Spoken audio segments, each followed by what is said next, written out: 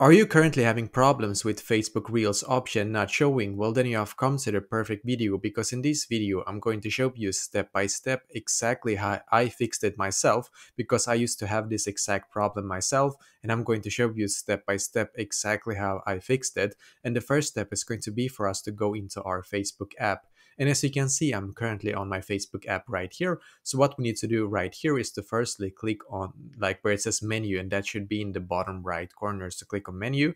And by the way, for some of you, it's going to be in the top right corner instead, just so you know, but just click there because then you should be taken to this page right here. As you can see now on this page, then what we're going to do is to just scroll down Keep scrolling down until you can see where it says help and support. So click on help and support. Now click on report a problem. Then once again, click on report a problem.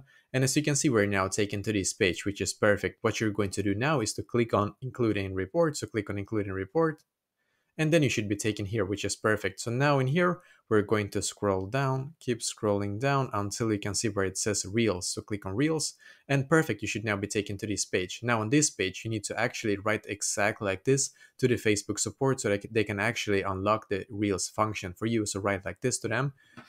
I am having issues with my Reels on my Facebook account missing.